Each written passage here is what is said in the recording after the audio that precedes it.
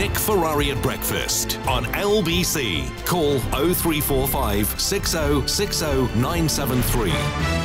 Nine minutes before it is the time. Back to COP and those protests around the M25, which are live and ongoing. We know of at least three locations, and we'll bring you more uh, as on that in a moment. But possibly some good news if you find yourself at the lower end of the income structure. Millions of people on low incomes will start to receive payments of £324 into their bank accounts from today as part of a cost of living support from the government. And here with more details is Conservative MP and Work and Pension Secretary Mel Stride, who joins me now. Thank you for coming on.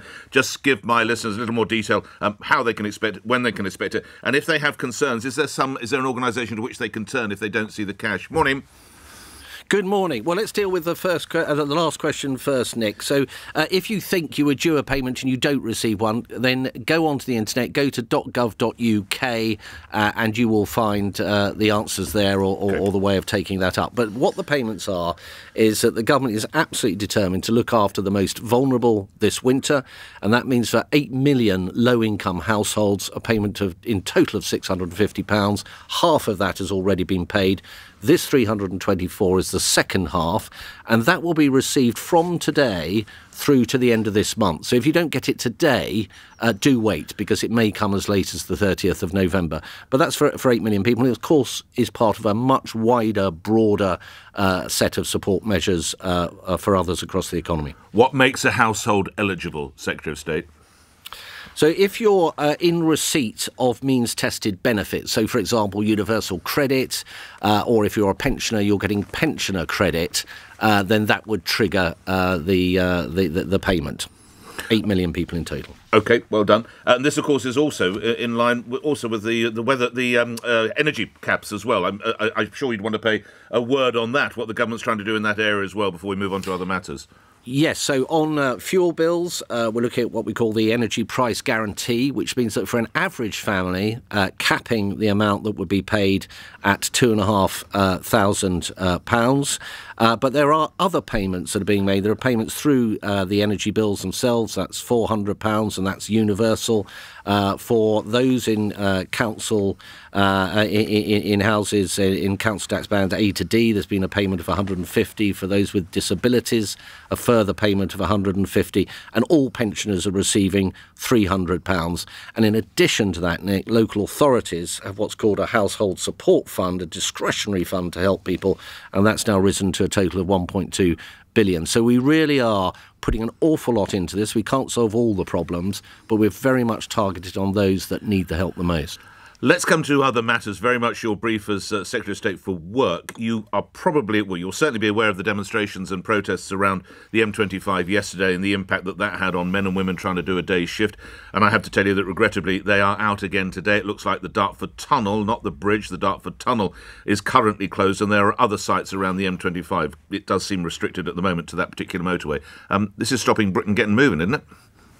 Yeah, it's very bad. I mean, we, we see it even around uh, Westminster. You know, as I go in and out of Parliament, there are people periodically stopping the traffic, and that's why we have passed uh, some really helpful uh, legislation uh, looking at offences such as public nuisance and tightening up the kind of uh, um, sentencing that can follow from these kind of activities uh, to give the police the tools to intervene and remove people. Now, of course, it is a huge challenge. If a lot of people run out and glue themselves to the tarmac, it does take time to remove them. But we are very determined as a government to give the police the right tools and the right messaging from government to go in and get on top of these situations situations. But in the meantime, of course, it is misery for the public uh, as well as economic damage. And I'm not I don't feel overall, Nick, that this is something that's really furthering their cause. I think the public are probably beginning to get really quite sick and tired of it. Something else the public are concerned about, which we'll know more in what a little over a week's time or so. There's concern over the triple lock, Secretary of State. Can you give my listeners mm. assurance that that will stay in place?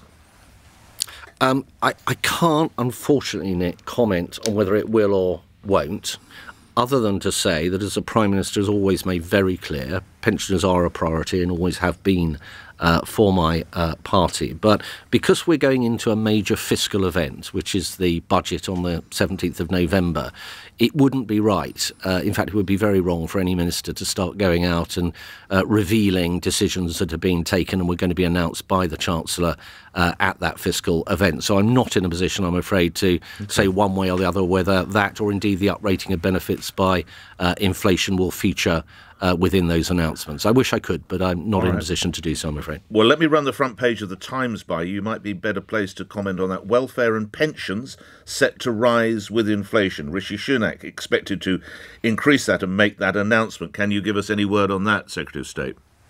Well, I can't comment on press speculation. I mean, the, the, the bulk of it has been suggesting that, that there won't be uh, a, a, triple lock going forward, but that, that one takes a different view. I mean, p- people are opining in different directions, and I'm afraid I just can't comment on press speculation. Got a view on climate campaigners suggesting the United Kingdom should pay some one trillion pounds in reparations for damage they claim has been caused climate control, climate change. Uh, also, of course, being pushed forward by Labour's Ed Miliband.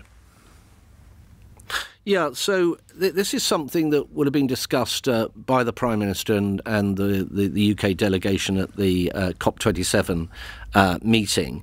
Uh, there are ongoing uh, discussions, but I think the main thing to really focus on here is that the UK is already very much uh, leading when it comes to assisting other countries adapting to climate change. And in fact, the money that the UK is putting forward to climate at, uh, towards climate adaptation has just been tripled. Now, that's a very recent announcement. So I think we're already doing a lot in that space. But my understanding is that discussions are on, ongoing at, at the moment on, on the specific issue that you've raised.